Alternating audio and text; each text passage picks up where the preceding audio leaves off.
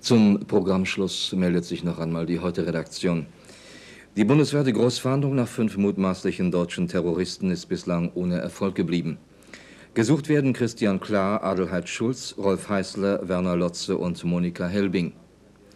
Sie sollen die Wohnung in Nürnberg benutzt haben, in der in der vergangenen Nacht die mutmaßliche Terroristin Elisabeth von Dück von der Polizei erschossen wurde. Sie war nach tagelanger Beobachtung von der Polizei gestellt worden. Dabei zog sie sofort eine Pistole. Von zwei Kugeln der Beamten wurde sie tödlich verletzt. Die Bürgerinitiativen gegen die Kernenergie in der Bundesrepublik sind entschlossen, alle Kräfte zusammenzufassen, um das Atomprogramm der Bundesregierung zum Scheitern zu bringen. Das erklärten Kernkraftgegner in Göttingen auf ihrer Bundeskonferenz der Atomkraftgegner. An dem Göttinger Treffen nehmen rund 1500 Vertreter von 300 Bürgerinitiativen teil. Die im Penn-Zentrum organisierten Schriftsteller der Bundesrepublik haben auf ihrer Jahreshauptversammlung gegen die Einschränkung der Meinungsfreiheit und die Disziplinierung ihrer Kollegen in der DDR protestiert. In Österreich sind heute mehr als fünf Millionen Bürger aufgerufen, ein neues